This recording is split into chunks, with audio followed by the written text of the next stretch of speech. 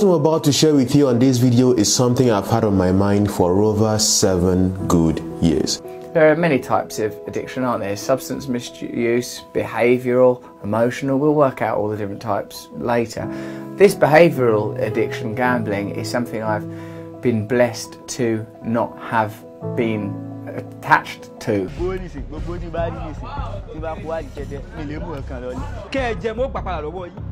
Kẹ́ ẹ jẹ mo gbà padà lọ́wọ́ yín kẹ́ ẹ jẹ lónìí tó bá ti dọ̀la ọjọ́ kejì mo ti gba gbogbo ẹ̀tàn lọ́wọ́ yín.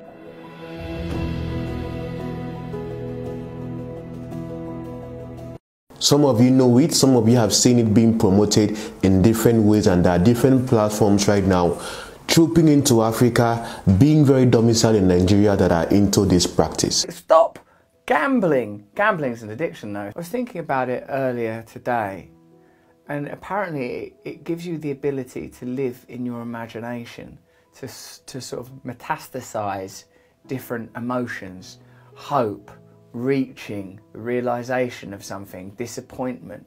I suppose hormonally it's stimulating adrenaline, like the anticipation. That I really identify with. With my previous addictions, notably around getting drugs and my addiction around sex, I remember the sense of between making the decision I'm going to use drugs and then getting drugs, there being a kind of fearful euphoria.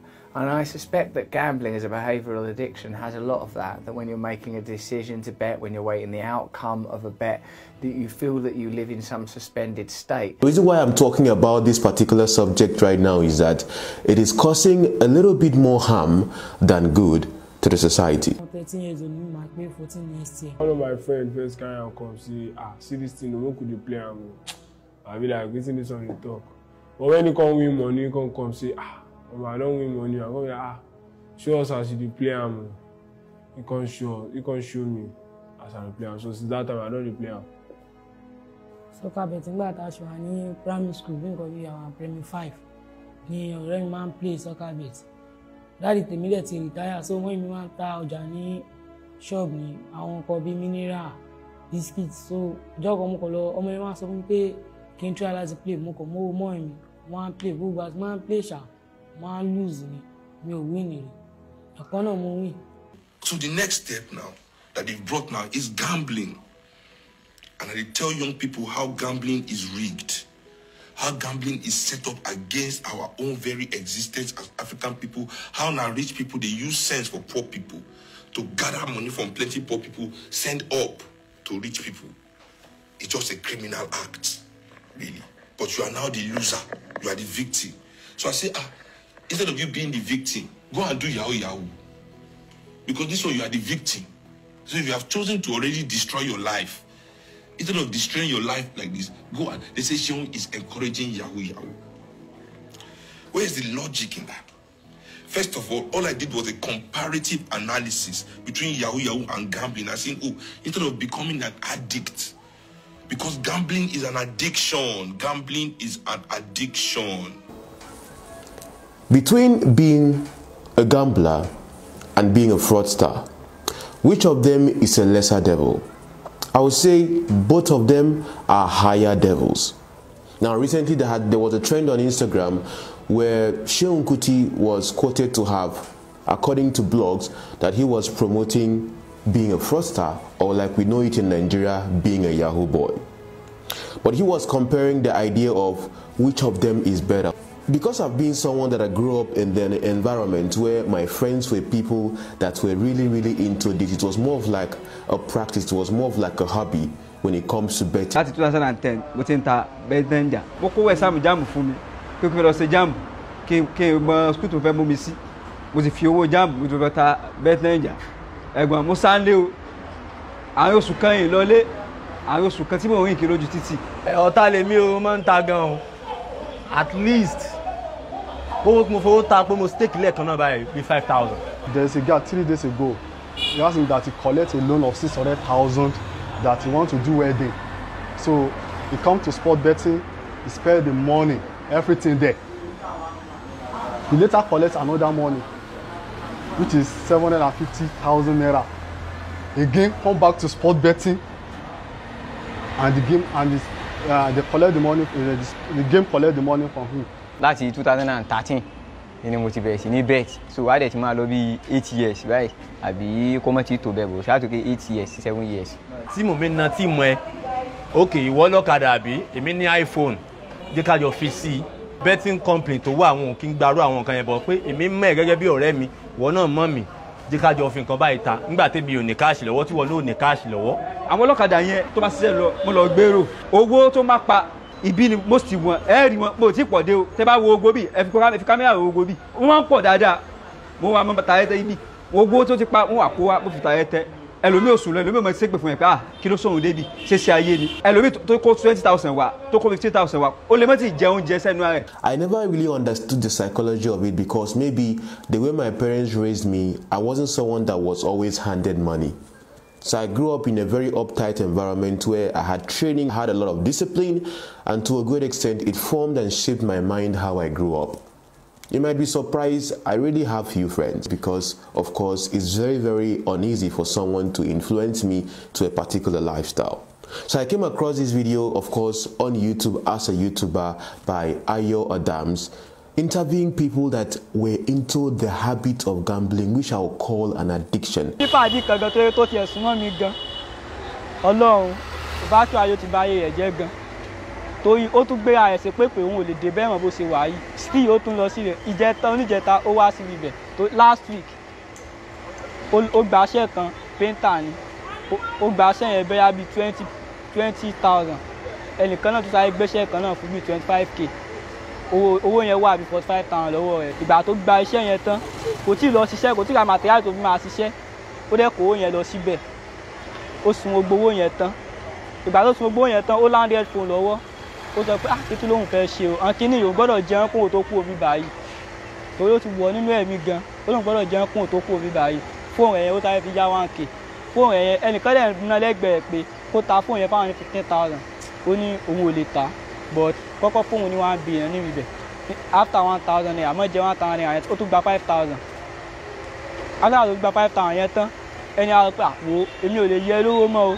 But nǹkan tí mo kàn lè ṣe fún ẹ mo lè yẹ ní one thousand naira sí kó máa jẹ́ seven k. After seven k yìí má bí mi lè owó nǹkan tí o bá dẹ̀ ti rí owó mi kó sílẹ̀ láàárín ten minutes.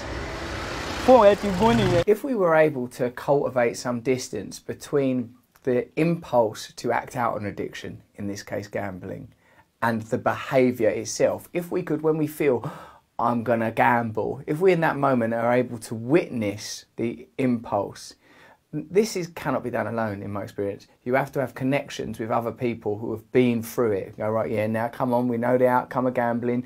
You know the cost to you financially, emotionally, the devastation it's caused your family. Essentially, you have to have a program. This is the format. You have to want to stop. You have to believe it's possible to stop. You have to ask for help to stop. There are other things, but that's the simple beginning.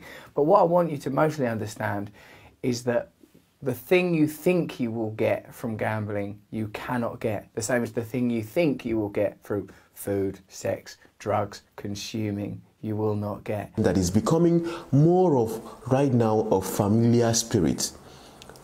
When I say when I say familiar spirit, I mean spirits that might actually be tied to families right now, whereby it's going to be a generational problem. happen for my area. One 14 year old boy has been gambling every day. Don't lose money tire. He can't go win. He can't go win, one go collect him money where he win. Now that they can't see the boy now underage. Tell us if he pay our money. Then the boy head blow. so you see those kind of dangerous acts. That's just that's just evil. You've been collecting the poor boy's money.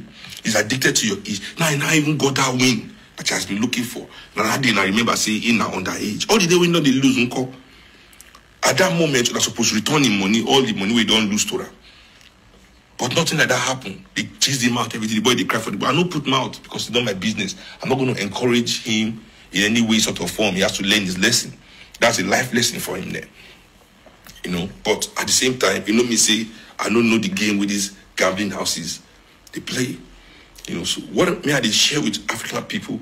Now a way for us not to fall for the gimmicks we go destroy us, we go weaken us. Everybody's online selling gambling. Gamble this, eh, favorite odd, this one, that one.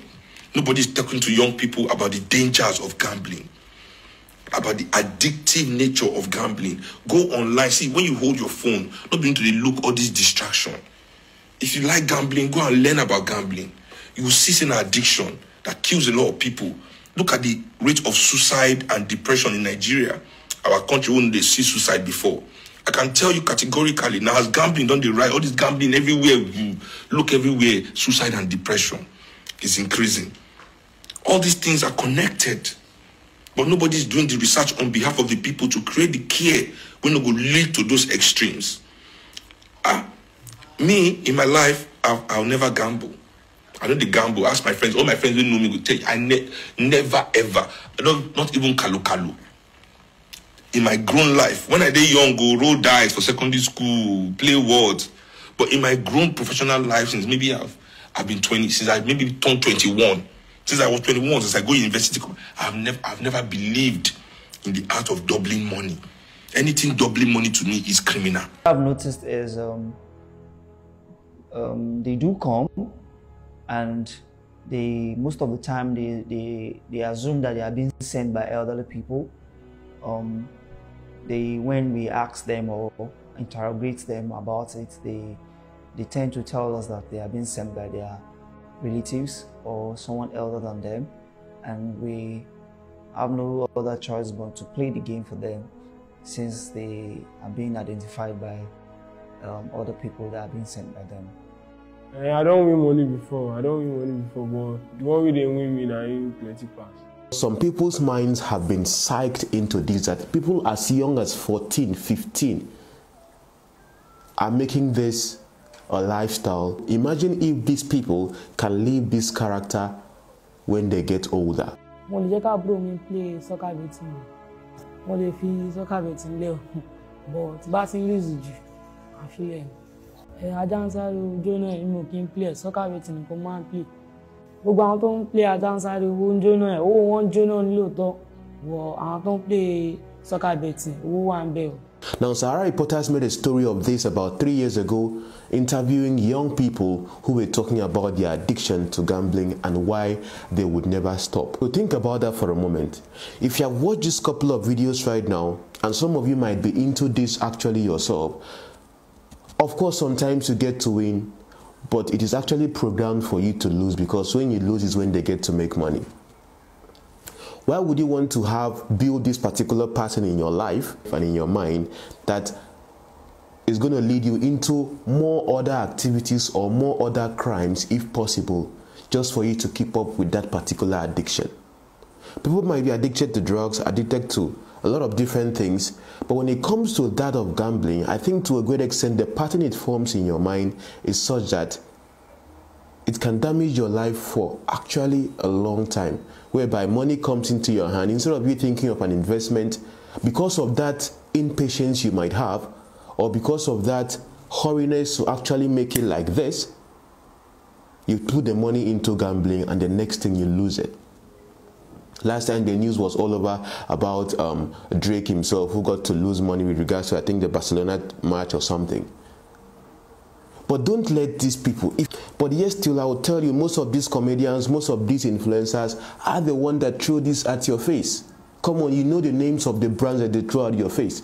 I wouldn't come here to mention brands because that is not my goal right here. The goal here is, even though of course the influencers will get to make their money for influencing this to you, this character that are promoting to you, this addiction that are promoting to you, do you think it's actually what putting your life into? That in the long run it becomes a pattern in your life. Your son grows up to see you as a father maybe as a mother as well being into gambling and they see it as a way of life in gambling yes sometimes you get to win but most times you get to lose. But for the many times you get to lose you always have the hope and the vision of winning. But you might keep losing along the way. Gambling is becoming a menace in the society today that is that to a great extent. I don't know if the way i look at the society right now if we would ever ever get over this particular lifestyle is very common most of the times i watch videos online there's no if i watch like 10 videos at least two videos you see a promotion of this particular lifestyle the people themselves that are promoting this to you, do they engage themselves in this? One thing about forming thought patterns is that thought patterns over time becomes a part of you.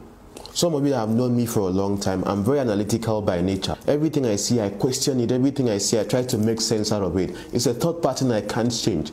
So it, since it has become my regular lifestyle, I bring that particular character in me, I built over time from what I've been doing into content creation and commentaries I make about trending issues. I think it's positive on my own side because with that I get to bring value to you. But look at it on the other side. If you are a parent, if you're a young person right now becoming addicted to gambling, how do you want to raise your children tomorrow in that particular lifestyle? Would you want them to go that particular route? But trust me, if I'd said, don't do yahoo yahoo, go and gamble, tomorrow, by tomorrow now, one gambling company would have called me. I said, thank you. They don't give me money. I don't do gambling advert. Eh, have you done your bet today? And bet. And get your odds, collect.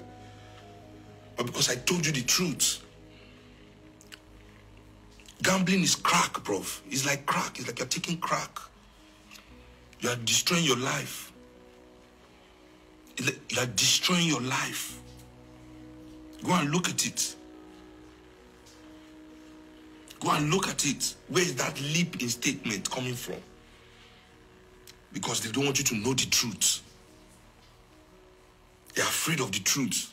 They don't want you to free yourself from all this nonsense. Elijah, Elijah, send a fire. Bless my